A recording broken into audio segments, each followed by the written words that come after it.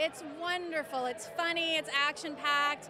The relationship the, between the characters is so complicated and dynamic, and especially for something that I think that people will expect it to be a family film, and it's it's wonderful for families, but really it, it hits on so many levels. I think where the kids will enjoy it, the adults will also find real beautiful meaning and love seeing yeah the di- complicated dynamic between these characters.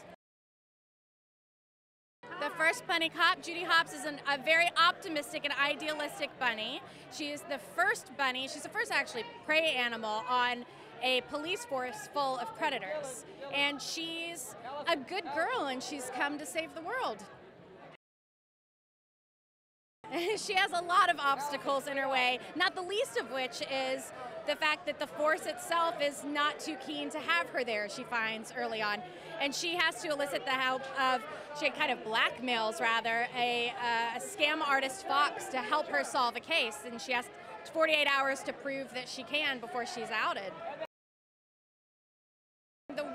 So rich, and I feel like what Disney's been able to do, even the way of advancing technology, even since the last film, is staggering.